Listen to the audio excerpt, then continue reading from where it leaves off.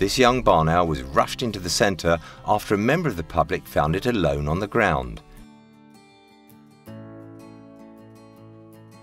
It was quickly taken over to the vet team so they could check it over.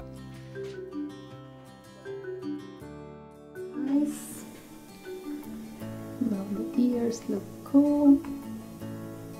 330 is not a bad way for, for a juvenile. She's still uh, she's still growing. She's a bit dehydrated. Can you see the skin that is quite um, wrinkly? Yeah. But the body condition is not bad. That's fat in there. Right, so what we're gonna do, we're gonna leave it in the, in the incubator for now. Uh, we're gonna prepare some subcut fluids. Yeah. just to um, correct that mild dehydration. But apart from that, she seemed to be okay. So Good. that's good news. The people that brought it in, uh, they know where the box is, they know that the parents are around, so we're gonna try and put her back. That's it.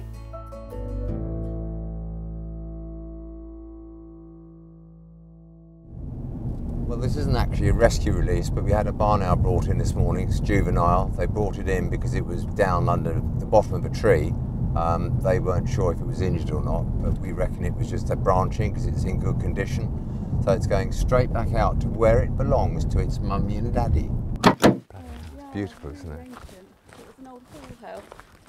About Nice. five, six years ago, we Right. put a load of nesting boxes around the farm. Cool, good boy. So environmentally friendly. I like that of a farmer. So basically, this bird table here, every night, we put about five or six chicks up there. That- that- There's a box there. There's one sitting up there. Look. That's a dove. Oh, is it? Yeah. I can't. I need a new pair of glasses. Okay. So should we put him in where the other ones are hissing? I don't know which side they are. You go back to your brothers and sisters, little barn owl. I don't know how you're going to put it in the box. Do you want to do it? You can do it if you want to, young man. I'll put the ladder for you. Look. Isn't he very handsome? Look at that. Look. You know their ears are the same size as ours, but you can't see them. They're in there, and one set forward and one set back. And they can hear cotton wool falling through the air. So when you go in the house tonight, get your mum to get a bit of cotton wool and you shut your eyes and she'll, you can tell her when it's falling through the air. There you are, young man. One barn owl. I don't have to climb a ladder, which is a great bonus.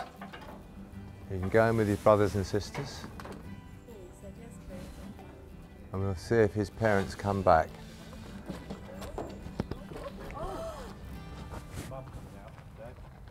Did you get that? To our surprise, both parents flew out from the box, circling around the area to see what we were doing.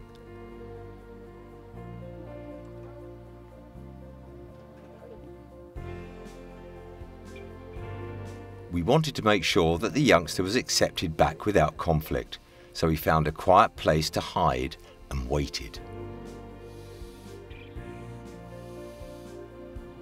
After checking that the youngster was okay, the adults set off once more to continue the night's hunting. What a beautiful sight. If you like our videos, please subscribe to our channel by pressing the red button. And make sure you hit the bell to get notifications of our latest content. If you want to help us save wildlife, please donate. Every pound you give will help us to save more wildlife.